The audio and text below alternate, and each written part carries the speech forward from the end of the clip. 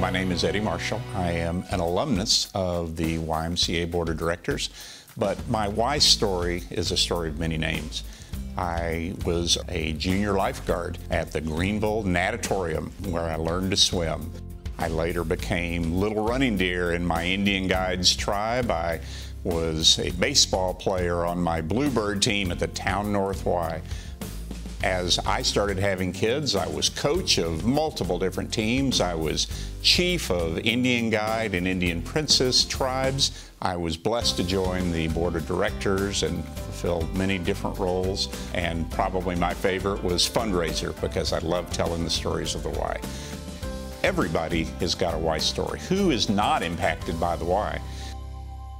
Unfortunately, I came from a broken family. My family was divorced early on, but the Y was the place of connection. My father stayed very engaged with me. Our trips out to Camp Grady Spruce are still some of my fondest memories. And then that allowed me to do the same thing with my kids. The Y has brought my family together in so many different ways. One of my favorite quotes is, to whom much has been given, much is expected.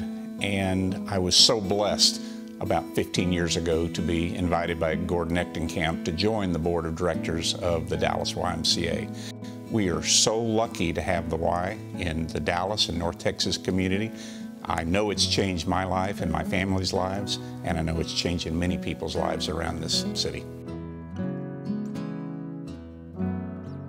Through our Y experience at the YMCA of the Rockies, my son, when Boy Scouts became an option, he leaped at that. As his Eagle Scout project, he was downtown at the Park South Y working with Rodrigo Ross to build the chapel complete with a paved stone stage and an amphitheater seating for 75 or so kids.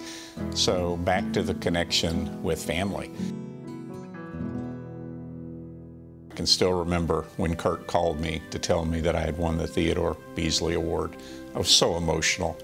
And I was emotional because I thought back about what this meant, who Mr. Beasley was, and the many, many YMCA colleagues that I've served with for the years who have gone before me and won this.